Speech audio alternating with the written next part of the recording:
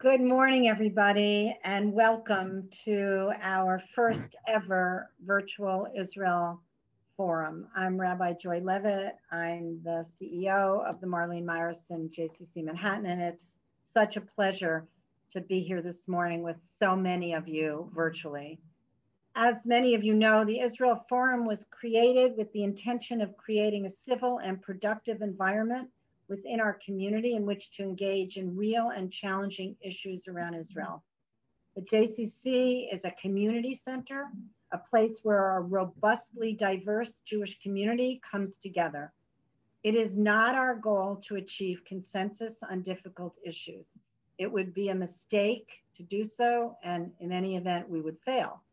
But it is our responsibility to facilitate conversation because we are in this together.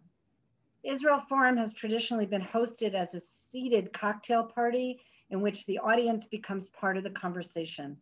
We're in a challenging moment. I don't need to tell you this, but there is one thing we do not take for granted. While times are uncertain, community is not. Though we cannot gather in person, we will endeavor to create space for civil discourse and meaningful opportunities to connect to our speakers via, via this, our first ever virtual Israel Forum um, event. This virtual platform has also enabled us to welcome guests from all over the country and indeed all over the world, including community, uh, communities across the region in the Middle East. I'm so pleased to welcome you to our JCC and to this program that is the cornerstone of the Sonnabend Center for Israel. Throughout the program, Please share your questions in the chat box on your screen. It is so important to us that though we are not in person, that you feel part of the conversation and know that our speakers will do their best to address your questions. If at any point you experience technical difficulties, please chat our host who will do their best to troubleshoot with you. A word of thanks. The Israel Forum is made possible by a generous gift from the Wexler family.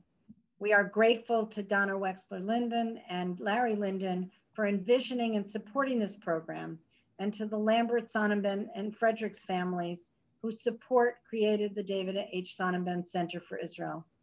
I also want to acknowledge the commitment and support of our Sonnabend Center for Israel Advisory Council and the dedication of our chair, Erica Frederick, and to our staff team, including Adina Schwartz, Mark Labrador, and Amanda Schechter, and of course the amazing tech team, Matt Temkin and others who, without whose efforts today's program would not be possible. And a special thank you to our close partner, Israel Policy Forum, an organization that aims to shape the discourse and mobilize support among American Jewish leaders and United States policymakers for the realization of a viable two-state solution. Today, I am thrilled, really thrilled to welcome Her Excellency Lana Nusseibeh, United Arab Emirates Ambassador to the United Nations. I met Ambassador Nusseibeh when I was in Abu Dhabi in February, right before the world turned upside down. I had the privilege, excuse me, of meeting her extraordinary father, who is the Minister of State in the UAE government, but frankly, I hope I'm not saying anything out of school. It was Ambassador Nusseibeh who stole the show um, with our group um, that day with her warmth, her intelligence, and her obvious commitment and passion to help her country grow. Ambassador Lana Zaki Nusseibeh was appointed as the permanent representative of the UAE to the United Nations in New York in September 2013. She was also appointed as the non-resident ambassador to, of the UAE to Grenada in November 2017. She has served as the co-chair of the Intergovernmental Negotiations on the Security Council reform from 2018 to 2020. She has also served as vice president of the General Assembly for its 72nd session, president of the UN Women Executive Board in 2017, co-facilitator of the ad hoc working group on the revitalization of the UN General Assembly for the 71st session, and co-facilitator for the overall review of the implementation of the outcomes of the World Summit on the Information Society in 2015. Furthermore, she chairs the Friends of the Future of the UN Previously, she served in several capacities within the UAE Minister of Foreign Affairs, including the UAE Co-Special Envoy to Afghanistan and to Pakistan. Ambassador Nusseibeh received her um, MA and BA in history from the University of Cambridge and an MA with distinction in Israeli and Jewish diaspora studies from the University of London. Don't worry, we will be asking her about this fascinating note in her bio.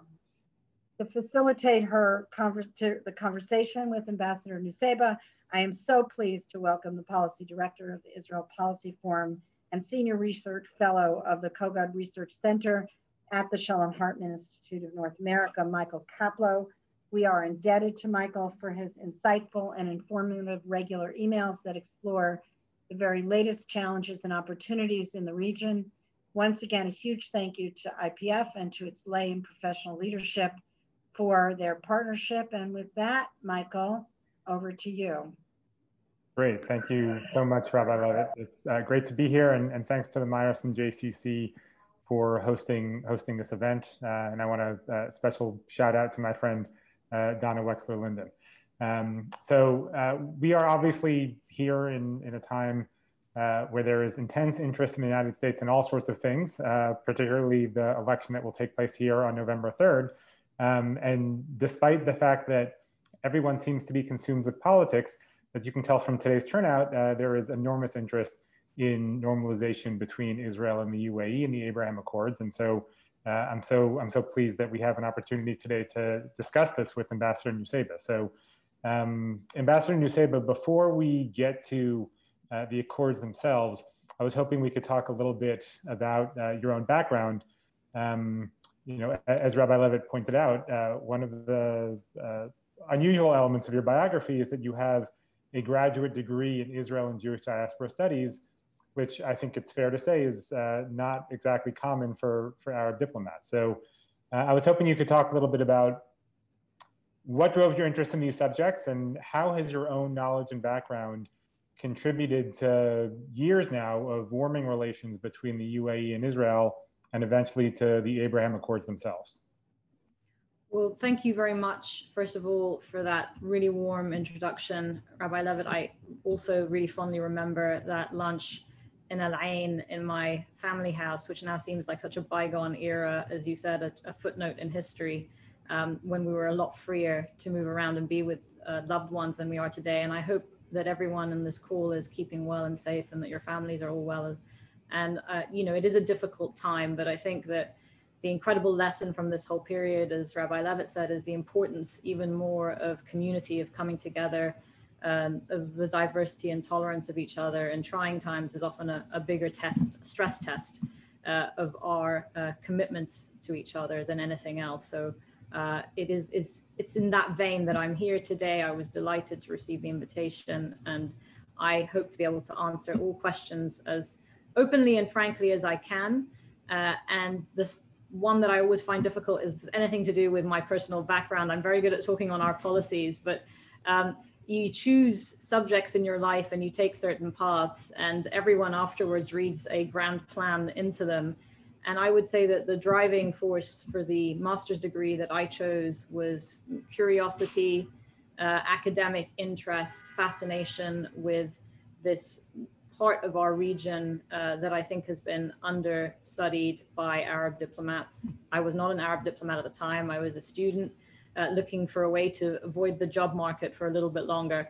And in that sense, I wanted to do further extensive study in the Middle East, but frankly, and Rabbi Levitt mentioned my father, I've always been raised to be as curious about what we don't know um, than to focus on the things that we do know. And I felt that a Middle Eastern program would simply be a lot of what I did know uh, and had been raised in. And so the program that was offered in Israeli and Jewish diaspora studies and the brilliant professor who headed that new program, Dr. Colin Shindler, was really eye opening for me in so many ways uh, around the origins uh, and philosophy and thinking, Jewish thought, uh, the creation of the state of Israel, the history of everything from Zionism to really analyzing uh, Jabotinsky.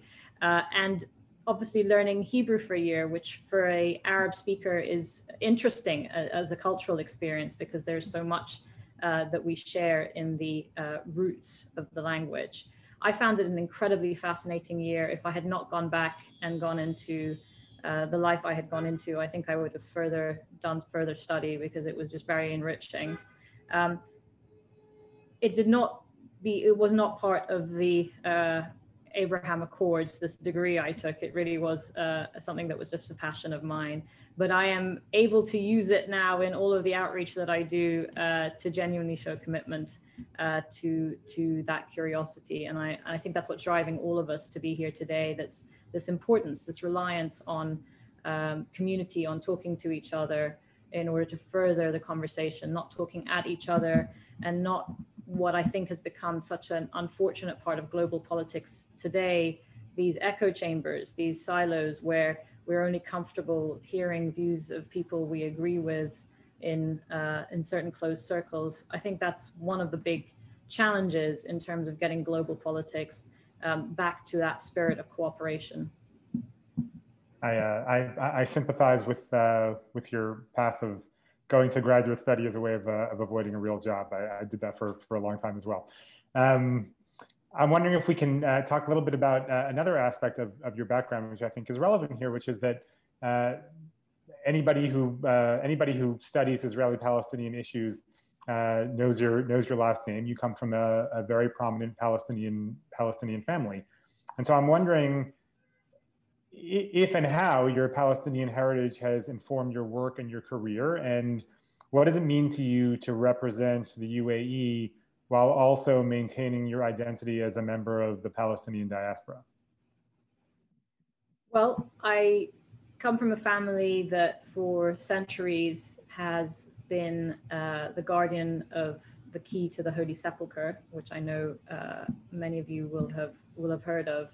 And I think that story, of course, I grew up in Abu Dhabi, between the Abu Dhabi and the UAE and the UK. So that's been my upbringing. But of course, between family and friends and the connectivity to my heritage, that story is the one that really resonated with me the most um, because it showed uh, a time and a period in history when interfaith community, when the idea of tolerance, the idea of religions and diversity strengthening each other, not weakening each other, was really paramount in that decision to give a prominent Muslim family in Jerusalem uh, the responsibility to one of the holy holiest sites in Christendom.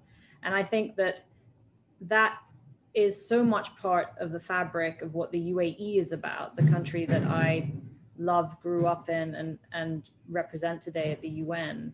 I grew up surrounded by all the nationalities that come and live and work in the UAE, um, upward of 200 religions, the temples, the churches, and today we're proud to say the first Jewish synagogues.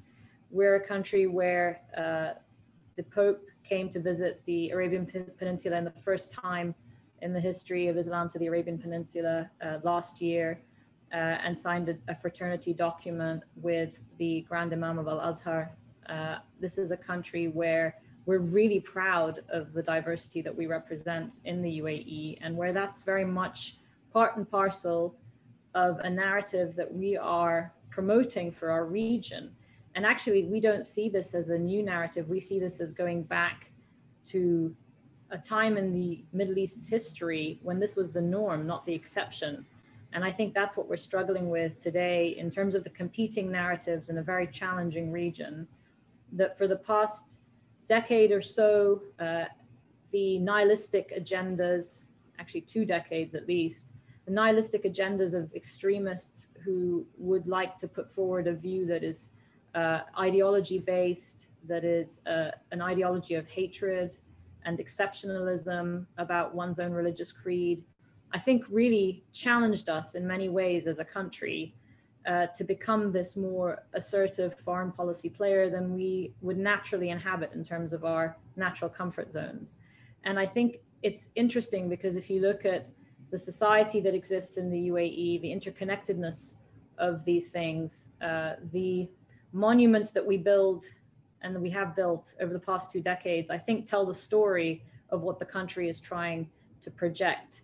And the monuments are uh, things as diverse as universities like NYU and the campus in Abu Dhabi, to the Sorbonne, to the Louvre Museum, to the Abrahamic Family House, which is going to house a synagogue, a church, and a mosque on the same sacred ground with an intercommunal uh, garden where worshippers of all three faiths can meet in solitude and prayer.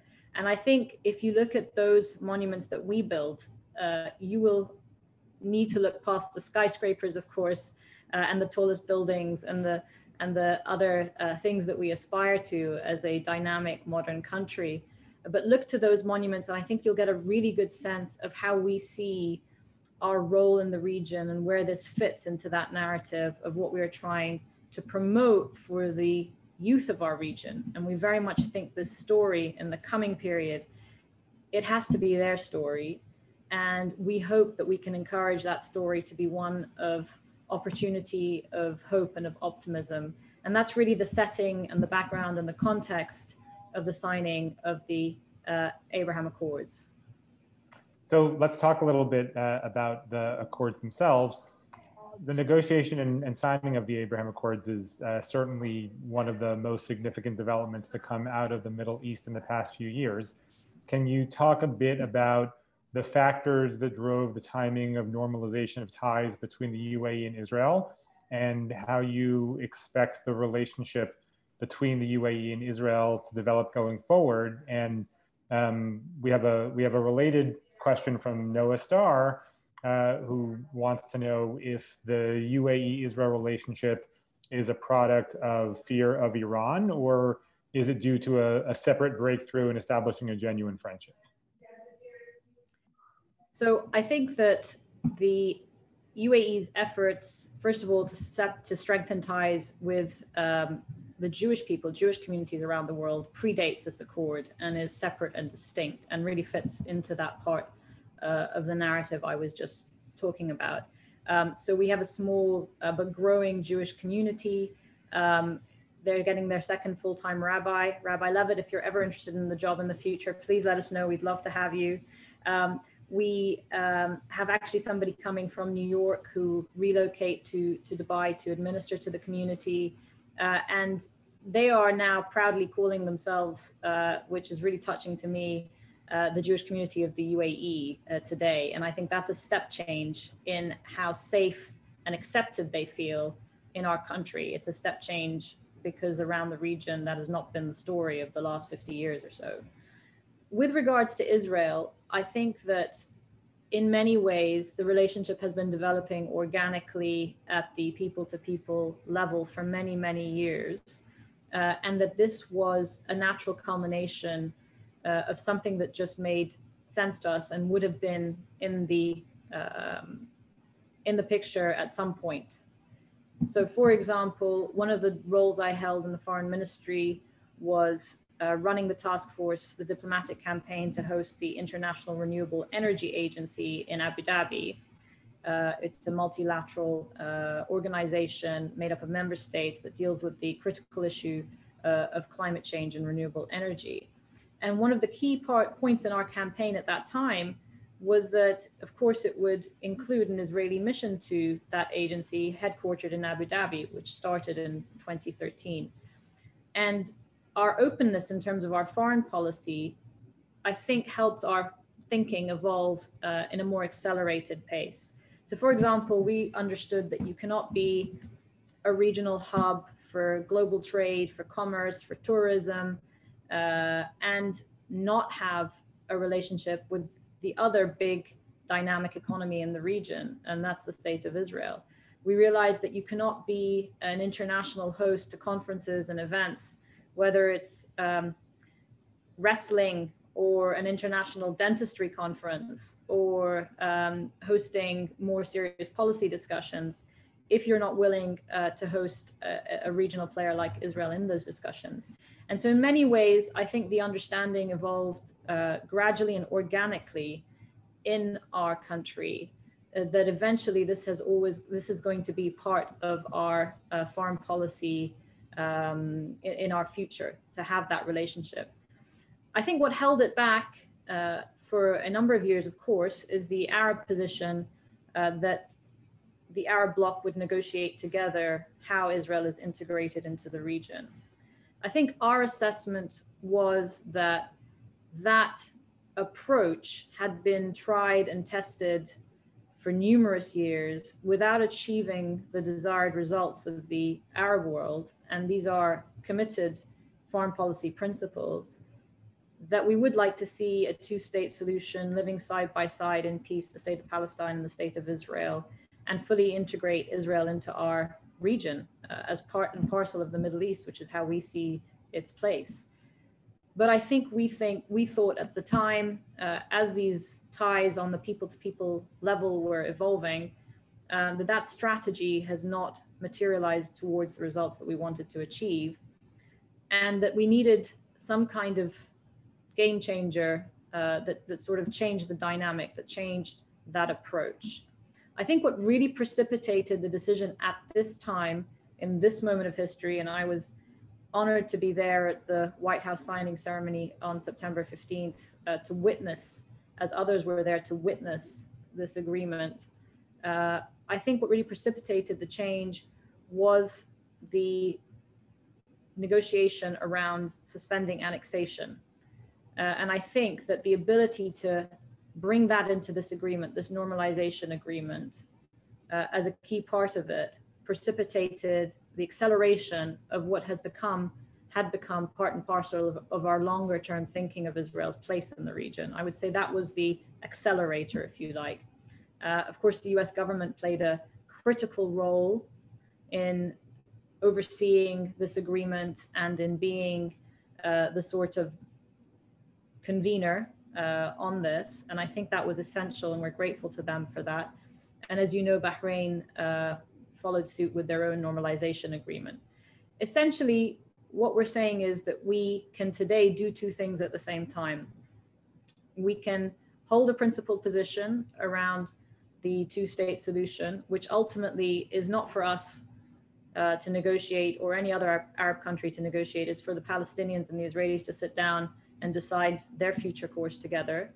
But we can do that and at the same time have a real and meaningful relationship with Israel uh, that is warm. And I think that's the other thing that you alluded to, um, Michael, which is really um, a big part of this. There's no historical baggage in terms of UAE and Israel. No wars were fought. There's no people to people memories of hurt or so forth. And I think there's no border issues that had to be delineated. And I think that's really helped the very quick uh, warming up of the relationship once the normalization agreement was signed. And you're going to see that relationship develop in very practical ways at the outset. So, for example, we immediately signed MOUs to fight COVID 19 together. And can anyone criticize today collaboration between two such medically forward leaning uh, countries around one of the biggest global challenges that humanity has faced in the last hundred years that will benefit everybody, including the Palestinians, if that cooperation leads to a, a breakthrough. Uh, we're going to cooperate around uh, the future of energy and water, uh, water security, and coming from the arid regions that we do, I think that the collaboration around that again can lift up many around the region. We're looking at uh, creating job growth and opportunities. And as we face the precipice of a horrible global recession uh, on the coattails of COVID 19, this will lift up the 65% or so of the Middle East population that are classified as youth and that are going to be struggling for job opportunities in the coming decades. And so I really think we see this partnership starting on that level. Uh, of course, tourism is going to be a big one. There's already a lot of excitement about visiting uh, holy sites and, of course, for Israeli tourists to come to the UAE. Educational exchanges, students, Hebrew is already being taught in our diplomatic academy, uh, and that's you know happened in the matter of weeks. Uh, I think, uh, you know, I think all of these will offer such extraordinary opportunity for interaction on a people to people level. And as someone who has lived and absorbed many different cultures in my career in life, I genuinely believe that politicians can sit in closed doors and talk about uh, agreements for many, many years. But as soon as people connect and understand that they're more the same than they are different, the quicker the acceptance grows uh, that a warm peace around the region is possible. And I think that's essentially a, a, part of this. You mentioned Iran, and the reason I went into such detail about what we're excited about in this partnership is to demonstrate that it's not about Iran. It's not about a negative agenda. It's actually about a very positive, forward leaning agenda uh, that really promotes this model of diversity, inclusion, tolerance, and yes, job opportunity and growth and economics that we think we're going to need to survive and thrive in the coming period. So it's about an agenda of hope and opportunity and not about a coalition against one country or another. Clearly, in the future, with all of these people to people exchanges and the cooperation around shared areas of interest, clearly in the future, uh, having similar um, policy dialogue and discussion is going to be an added benefit of the relationship, but it's not the primary driving force today. You mentioned West Bank annexation, and I want to drill down on that uh, a bit if I can. Um, when the accords were announced, the, the UAE emphasized that normalization of ties was only possible if the Israeli government suspended its plan to unilaterally annex West Bank territory. And this approach had, of course, been laid over the summer by uh, your colleague in DC, Ambassador Al Otaiba, who wrote an op-ed in Yediot Ahronot, an Israeli newspaper, uh, laying out laying out that case. Uh, the public text of the deal, however, is silent on annexation. So, how important is it to the UAE that annexation be suspended? And do you envision this suspension to have uh, a defined time frame of sorts? Uh, I'll, I'll, note that Ambassador, U.S. Uh, Ambassador to Israel David Friedman yesterday said that in his view, uh, this is um, this is not uh, it's not a permanent suspension of annexation. It's it's simply a temporary halt. And if the Israeli government does indeed move forward with annexation at some point, what will that mean for Israeli UAE relations? So, really, I think a critical question. And I think this is where uh, organizations like yours and supporters of this step change in how we do things in the region are going to play such a critical role because there are always critics and detractors and naysayers to an agreement like this. And in many ways, that's why it was negotiated so quickly and so discreetly uh, to the point where it was essentially uh, signed off within weeks of starting the negotiations was in order to get it over the line um, before it was attacked as being lacking in this or that aspect. You know, again, I'll repeat that we, at the end of the day, are not the file holders on uh, the final Middle East peace that has been uh, a, goal uh, of, of, of many uh, for decades. That's not what this is. We're not saying this is um, the Middle East peace plan. That would it's a very complex, uh, protracted, uh, you know, historical process that needs to culminate. We wanted to help it in our normalization agreement with Israel. We wanted to help that process, and by bringing uh, and having the U.S. Uh, as a guarantor of that agreement, we also, I think, have a interested party bear witness to what was agreed, some of which um, is, as you mentioned, in the public document, and some of which is in our shared understanding of what is what has been negotiated. Look, in the end of the day, uh, a normalization agreement or a peace agreement or however you see it is an act of good faith. And it's an act of good faith with the belief by all parties that the peace dividend far outweighs any other objective. And Ambassador Otaiba, I think, really laid that out, that case out, speaking for the first time for an Arab diplomat, if you want to talk about uh, breaking new ground, speaking for the first time to the Israeli public. Uh, that's who he addressed that article to. It wasn't a government to government, it was to the Israeli public to say that we want you to be integrated in our region. We want these ties with you. We want normalized relations. We want the people to people exchange. But in our view, annexation and the failure of the two state solution to materialize will ultimately affect that vision and will ultimately affect all of our shared collective security and our shared prosperity. I think that's essentially the message. And that's why, in many ways, people ask, why did the UAE even involve itself in that particularly thorny issue? Uh, and it's because we could and we thought it was helpful.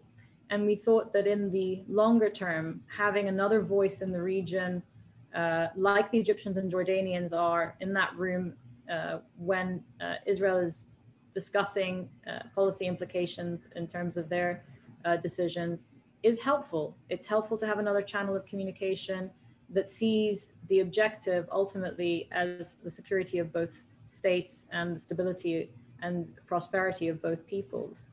So in our view, uh, there is no there is no plan B that we are aware of that suits the needs of both uh, that both communities and parties. And so we think we need to double down and support this objective. But as I said at the beginning, we think we can do that at the same time by having a strong diplomatic relationship with Israel, uh, symbolized most recently in the signing uh, of aviation agreements. There will be 28 weekly flights between the two countries. So you can really see in numbers what the people to people to people exchange post COVID will look like.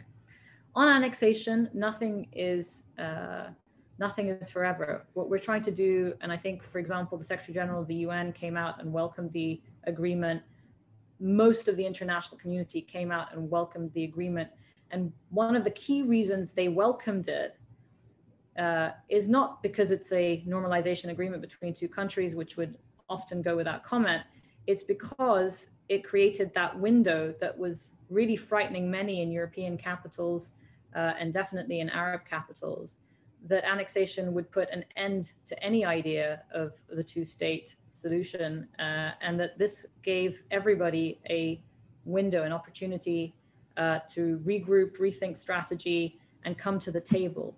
Now, that coming to the table, as I said, is between the two sides with any of the international interlocutors that they wish to see there. It's not uh, it's not the UAE's role, but that window was created when, at a certain point, if you remember, uh, there was very clear policy directives around the annexation issue that has been uh, somewhat muted uh, since the signing of the agreement. How long it lasts, I think a lot of that depends on the actors involved and the commitment and the goodwill towards resuming negotiations. That's the only way forward. It's hard work, um, but I hope we've created some some space, some breathing opportunity. So I, I want to um, turn to some of the ways that the Abraham Accords are going to impact uh, other uh, other actors in the region, and um, I'd like to start with the Palestinians, um, who have probably uh, been the party that has criticized the Abraham Accords the most harshly. Um, the, the Palestinian leadership criticized the UAE for signing this deal with Israel before uh, the negotiation of a permanent status agreement between Israel and the Palestinians, as, as you had earlier noted. And uh, public polling inside of the West Bank and Gaza reveals that uh, ordinary Palestinians are, um, are not enthused with the deal, uh, presumably for similar reasons. So, how do you respond to this Palestinian criticism that the Abraham Accords as a, as a betrayal of the Palestinian cause? And how does the UAE plan on using its relationship with Israel to support the Palestinian desire for independence and sovereignty beyond the annexation issue?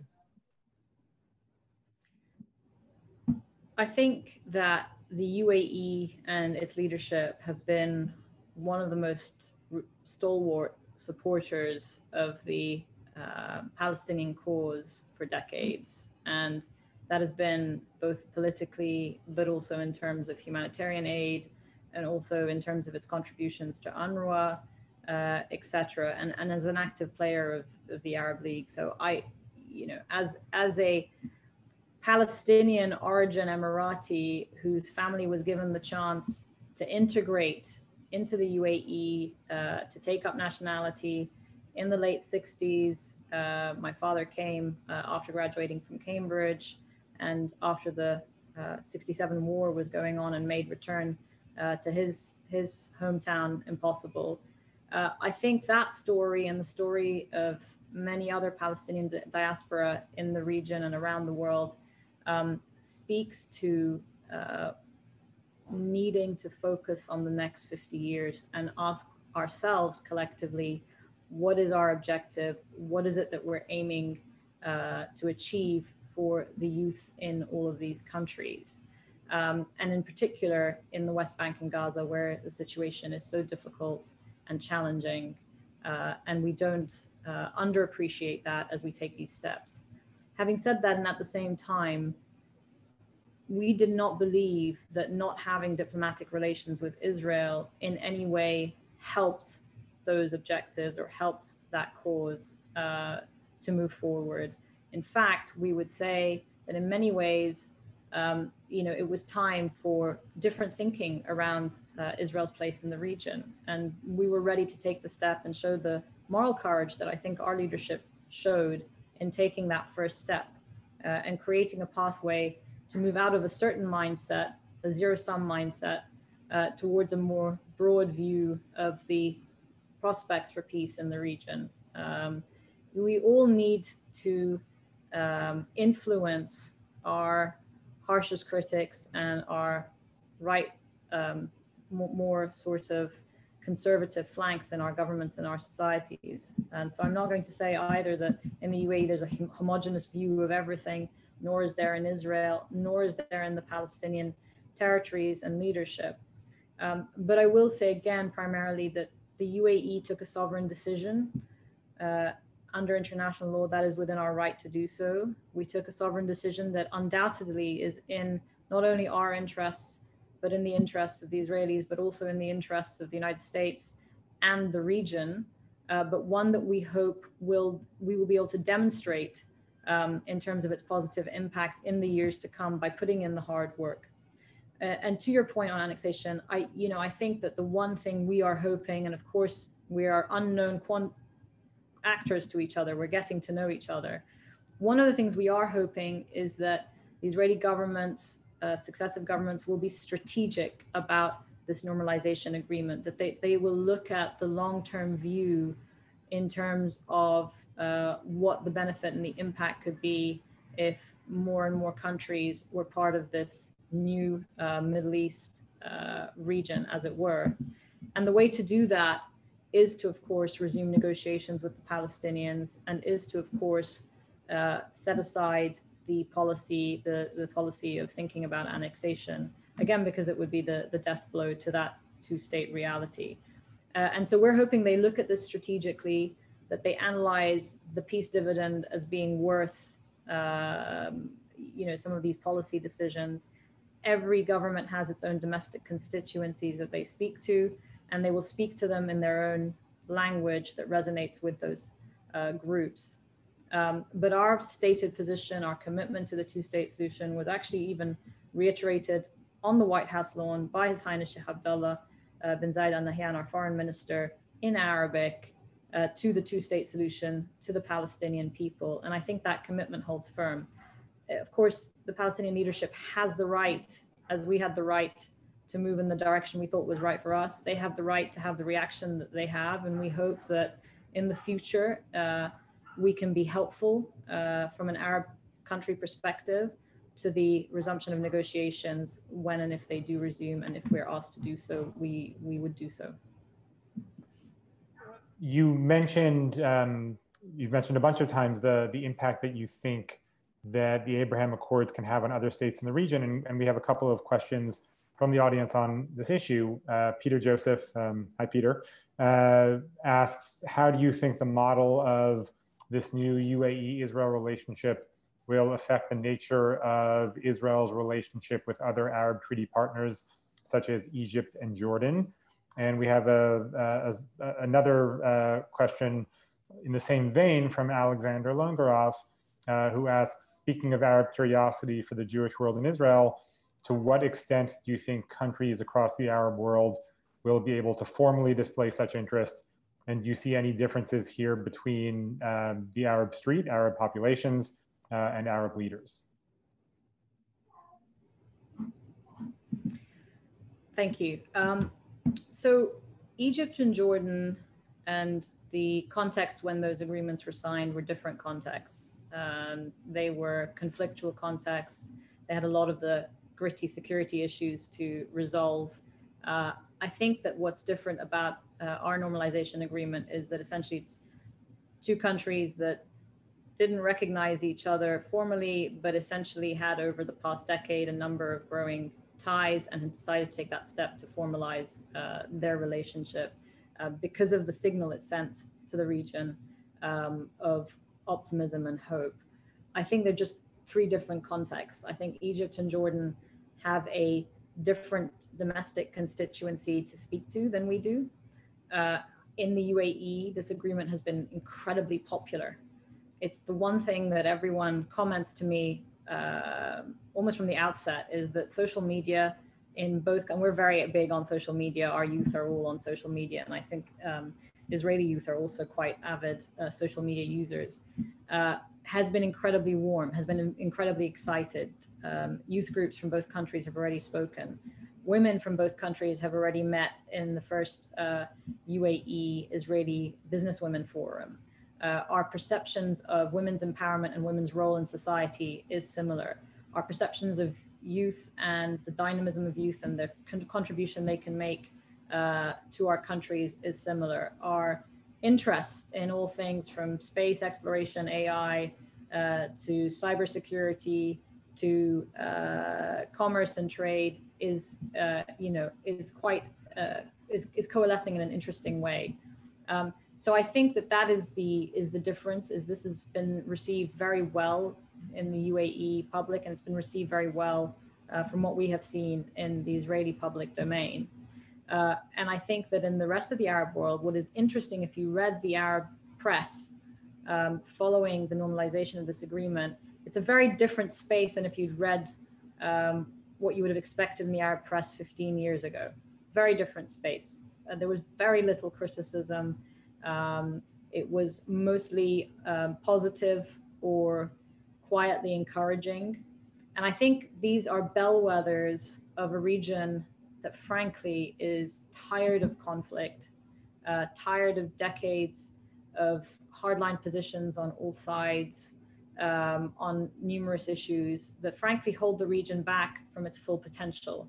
And I think, again, that argument around the full potential is hopefully going to be the argument that wins the day in the public opinions that we are all obviously interested in assessing and uh, uh, and and understanding as we go. Um, so that's that's on the first question. I think on the difference between the sort of famous Arab street and the Arab leaders is obviously you know governments and elites take a nuanced position on things, and maybe publics take a longer time to um, to change out of a certain way that they understand an issue. If you spend your formative years listening to a certain kind of narrative uh, and rhetoric on your um, in your reading in your family group in your education in your textbooks uh, i think it's very difficult in many ways to shift that mindset. And again i go back to the hope that younger people from all of these countries um, hopefully not growing up with that same uh, historical baggage in many ways of what their parents and their grandparents speak about when they speak about the Middle East, um, will be able to change that mindset set and make that shift more quickly, especially when they see the things uh, that already have been announced that again bring the idea of hope and optimism to the region. So most recent is the UAE and Israel and the US announcing a three billion dollar investment fund called the Abraham Fund to to funnel funding into the idea of economic growth uh, in the region, uh, private investment, development, um, and, and again, these economic gains uh, that we very much hope are going to be also directed at the Palestinian population and people, uh, as well as the youth around the region. We think, again, these will sell the story not of an economic model trumping a political ideal, but of how we intend to survive collectively over the next 50 years by promoting a new narrative of integration. Um, you know, I, I think that's that's the only way to keep to keep selling this agenda. And I think as a country, we're again uncomfortable with selling an agenda because it's it's not in our nature, it's not in our DNA, um, but we see ourselves surrounded by neighbors and ideologies that are so destructive um, and morally nihilistic um, that we haven't seen any alternative in the past decade but to re, uh, regroup our foreign policy around selling a different narrative to the youth of our region um, that really fully incorporates them uh, on the decision making table uh, and that offers them a vision of optimism, hope, and, and, and what the future could hold for all of us. I think COVID 19 has been described as the um, the great big equalizer, but in any in many many ways, especially in the coming period, when vaccine development will potentially fragment the world into the haves and have-nots in an even more defined way, uh, the failure to collectively respond on these global issues is really too traumatizing to even think about uh, from a policy perspective. And particularly in our part of the world, we are a trigger point away from so many conflict points and fracture points um, and misunderstandings that spill to conflict so quickly with endless loss of life and opportunity and hope again. Um, and so I just hope that we can all sign up to it. And this is why I'm so signed up to it. And I go into the UN every day, very proud of this story in terms of the work that uh, I'm doing, and proud that for the last decade, this, you know, you mentioned the Arab Street, there's been a, a poll that's done um, amongst Arab youth around the region uh, to choose which country, if they could choose which country, any country in the world to immigrate to, to live, to set up a life for themselves and their family, which would it be? and you know over even immigration to the us canada europe uh, arab youth has chosen the uae in this polling survey. Uh, and i think it's because no one wants to give up on our region just yet. And i don't think any of us should give up on our region. There's a lot of opportunity and and hope if we if we all dig in now and do the hard work I want to ask you about uh, the UN, since uh, that is that is in fact your your, your day job. Um, so the UAE and Israel are, are both in some ways seeking changes at the UN. The UAE is looking to be elected to a two-year term on the Security Council for the first time in over 35 years. And Israel, as always, is looking to blunt uh, what it sees as disproportionate focus and criticism to which it is subjected in various UN bodies and institutions. Do you view the way Israel has historically been treated at the UN um, as, as problematic? And are there ways in which the UAE and Israel can cooperate at the UN going forward to advance their respective interests? And um, there's a there's a related question uh, from Joan Lurie, uh, who wants to know if the UAE is open to taking a look at UNRWA and its role in precluding a two-state solution through advancing uh, the right of return. So there's a lot to unpack there. Um, I'll start with UAE Israel cooperation um, in the future at the UN. And you know, I go back to my my opening that I think that at the beginning uh, we're getting to know each other. Uh, so it's sort of um, you know we're on we're on the second date if you like, um, and that's going to happen with the people-to-people exchanges, the visa exemption agreements we signed, the aviation, etc and it needs to happen and we need to build that trust and confidence in each other.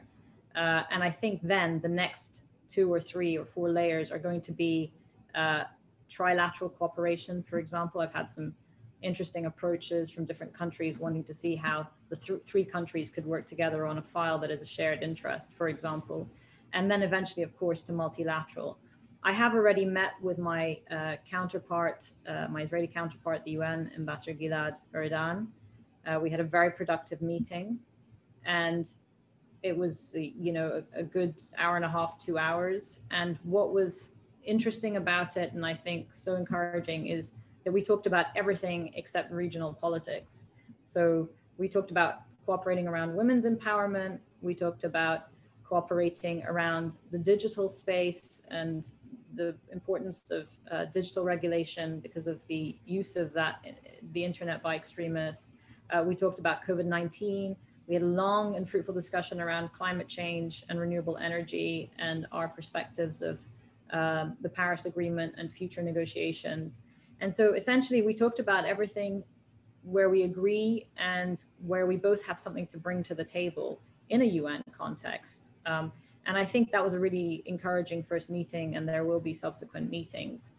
Um, you know, we are going uh, to be hopefully elected with a high number of votes to the UN Security Council next year.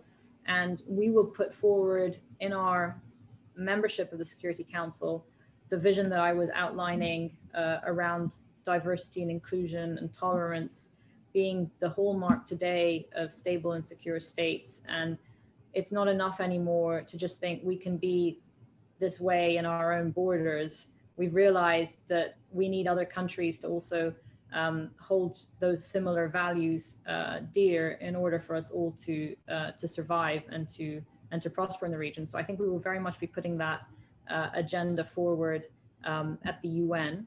Uh, you know, again, the next steps are going to be how that cooperation um, broadens. Um, it's a step by step approach.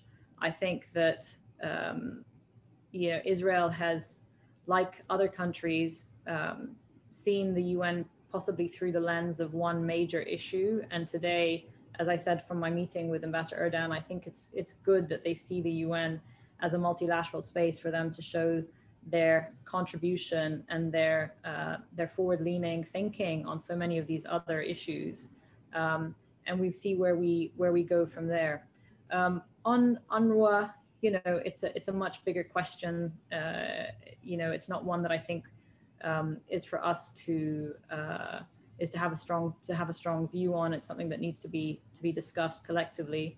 The uh, Secretary General is incredibly interested and has been a proponent of as I said, using the, this window um, to push forward a restart of negotiations, possibly with more countries uh, around the table if uh, the Israelis and the Palestinians are comfortable with that, uh, to sort of make it more um, um, multilateral in approach. And I think we would uh, be supportive of any initiative uh, that realistically um, and in good faith um, work towards achieving this this two state uh, reality that we're also committed to. I think that's essentially the case. But the details, how how other UN entities fit into that bigger picture, you know, I think is part of the granular negotiations that need to happen uh, down the road when when the negotiations resume in good faith.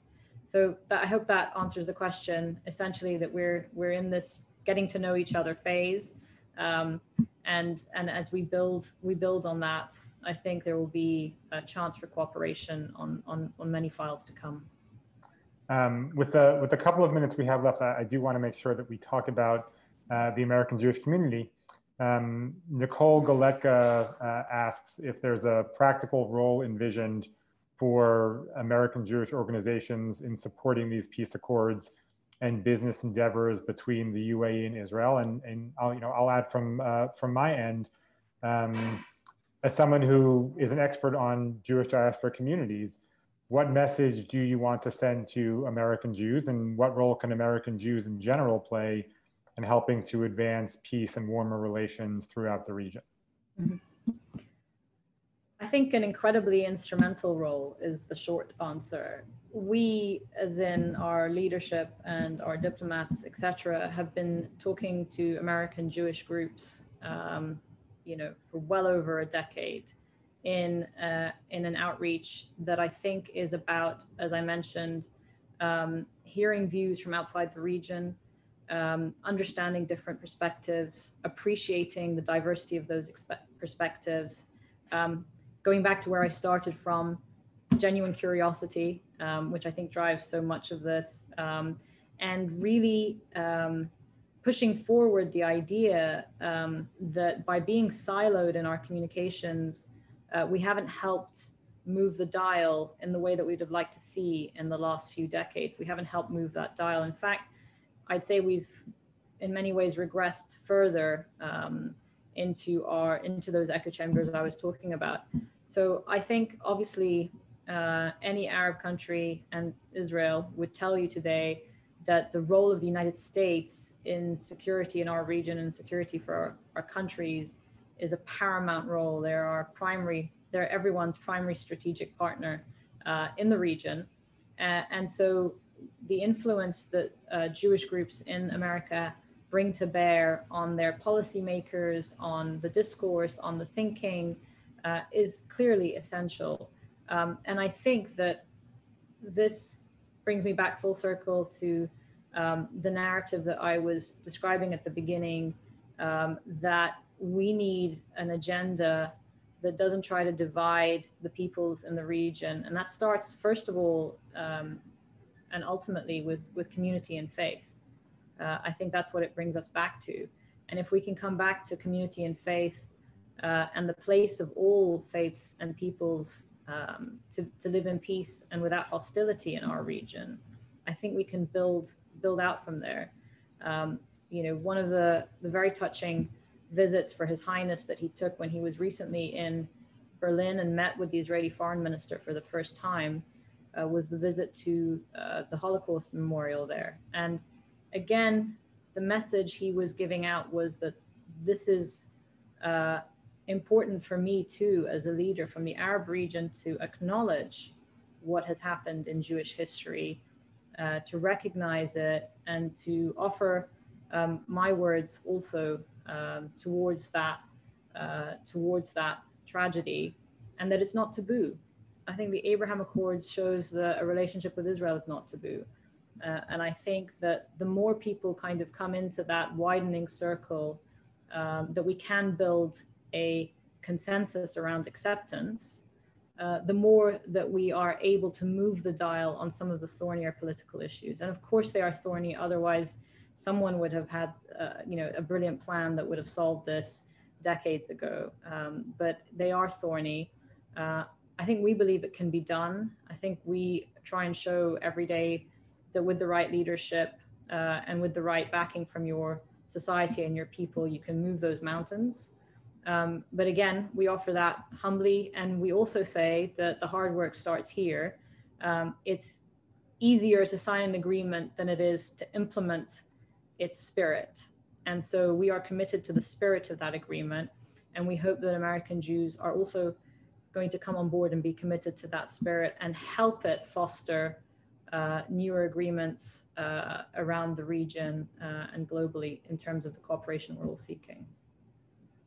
So I could I could do this all day, but unfortunately uh, we're, we're at the we're at the hour mark. So um, uh, I want to thank you for your for your detail, for your candor. I hope that we can continue this another time, and uh, I will turn things back over to Rabbi Levitt to close it out. Thank you. Our deepest gratitude to Ambassador Nusseibeh and to Michael Koplow for that unbelievably inspiring and thoughtful conversation. I think all of us feel just a little bit better than we did before this conversation started. Um, uh, I want to, um, uh, you can take a look in the chat. We're, we're giving you the access to Michael's um, column today which is on this subject, particularly with a focus on Turkey. So I urge you to take a look at that.